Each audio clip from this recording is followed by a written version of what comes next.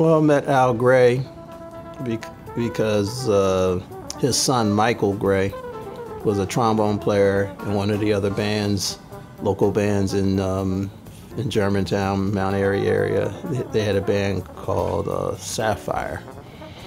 And um, he, Mike was a trombone player there, and he went to school with Kevin at Germantown High School.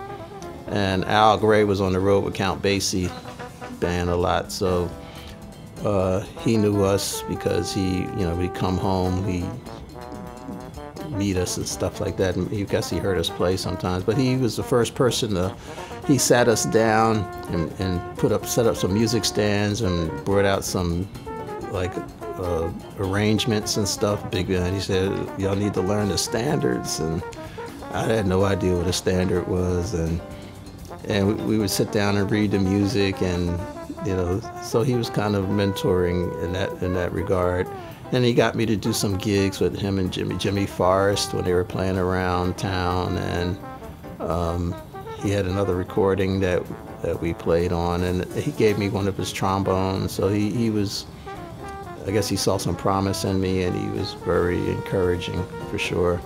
And um, uh, while I was still in school, or maybe graduating from school from from University Arts, Slide Hampton came to town to play.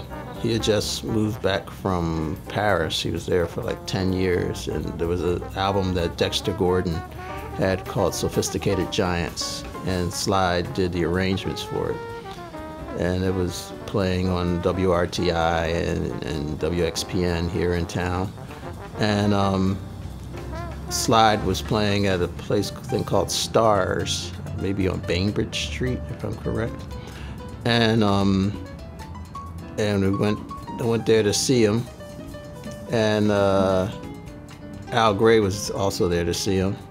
And on the intermission, Al introduced me to Slide, and Slide asked me if I had my horn with me, and I said yes. And I sat in on a couple of songs, and at the end of the night, he asked me to come to New York and join his World of Trombones band that he had, band with nine trombones.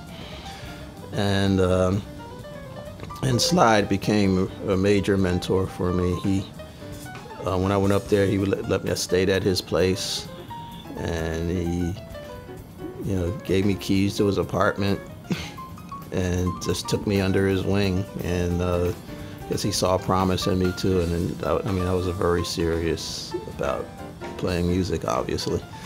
And and this was New York, so they're inviting me to come up. To, he was inviting me to come up to New York, and I got to play and met all these other trombonists uh, who are still very good friends of mine. Steve Turre, Douglas Purviance, who's a bass trombone player, and. Um, and through Slide, I met so many other uh, professional musicians, Woody Shaw, and all these people. I would just follow Slide around, and we go to all the different clubs. And there were a lot of them back then in, in New York, and I was I'm with him. So I just get in, get in all the places free, and I just hang out with Slide and meet everybody. And then I got to play, and people got to hear me play. So it was it was you know like I said, everything was, was just falling in place, and it was a really really really wonderful time. And I um, got a National Endowment grant, National Endowment of the Arts grant, just a study grant, just to um, study with Slide. And um, he wouldn't take any money from me.